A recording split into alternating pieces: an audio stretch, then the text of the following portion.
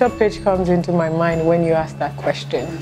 Uh, but think of Sambus as um, a geospatial company which has set affiliations and franchises that support spatial knowledge and information dissemination. Um, I use the example generally of utility networks. So uh, we all want electricity, we all want water. But how do we effectively get that water or electricity to you, the customer? Because you pay for a value, a service, and you must get it at all times and get it well. Um, so when I think of what Sambus, the value Sambus adds to such an institution, I think of the fact that, okay, so the electricity company wants to know where all their network lines are, right? They want to know the amount of power or water flowing through these systems. They want to know when there's a leakage, a shortage, or anything on the systems. They want to know it on a geographical platform that gives them real-time information. They want to know this so that they can quickly resolve it and make sure that your water or your electricity doesn't go off. This is what we bring. Reminds me of my father because he started the business. Um, registered it 35 years ago, May 1987. Um, and now we have offices in Ghana, Accra. We have an office in Kumasi, Ghana. Um, we have an office in Abuja.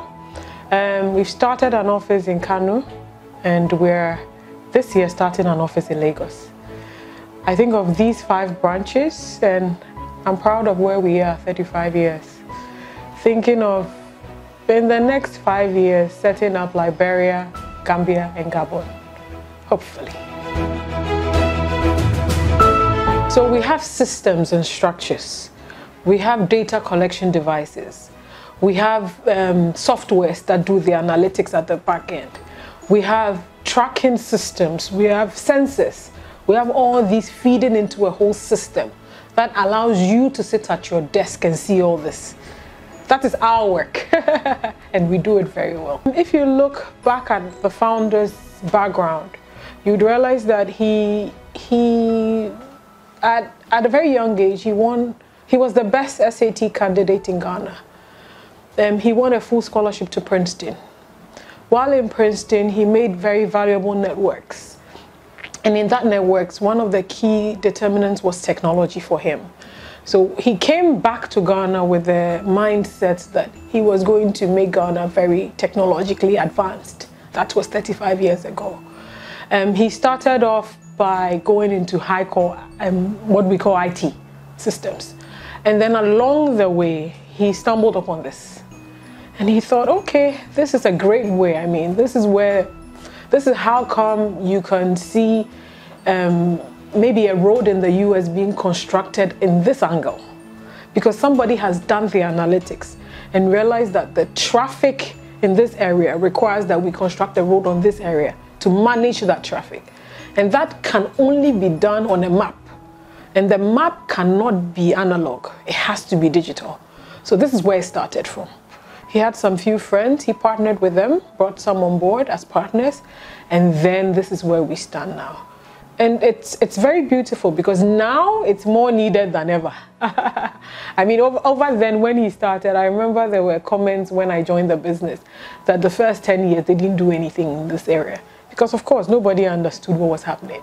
But now people have an, a sense of understanding. We were at one of our customers' place yesterday, and they had done such brilliant work with, with, with the systems that we had given them. We were all amazed. Um, to know that, for instance, in Lagos, we all understand the challenge of utility and the, how this can support it. And they are very ready to embrace and work with us. So this is something that, for us, it brought us joy. Not just the business value, but the fact that we can actually help solve this problem. And, and, and there's nothing better than that.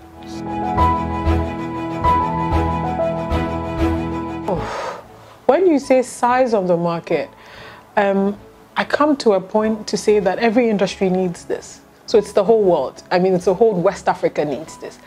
Um, we play in oil and gas. We play in agriculture. We have a big customer coming up wondering how much fertilizer they should give to their farmers. how much that fertilizer should yield for them.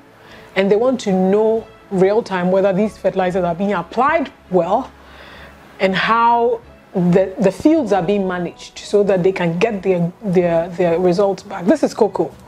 So you know how valuable cocoa is. So that's a customer.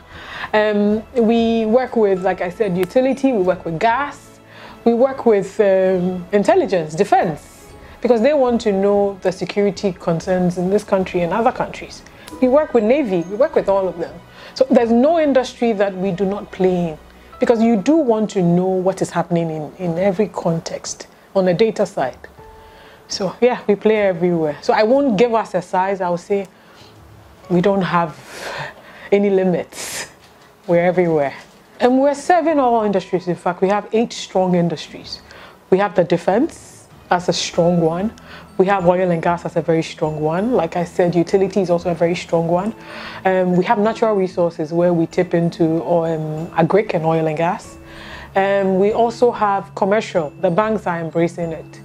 Um, we also have um, NGOs, a very strong key area um, because they are handling most of the insurgencies and other things. So it's quite, I'm happy when I see them come on board. We also have a huge student population.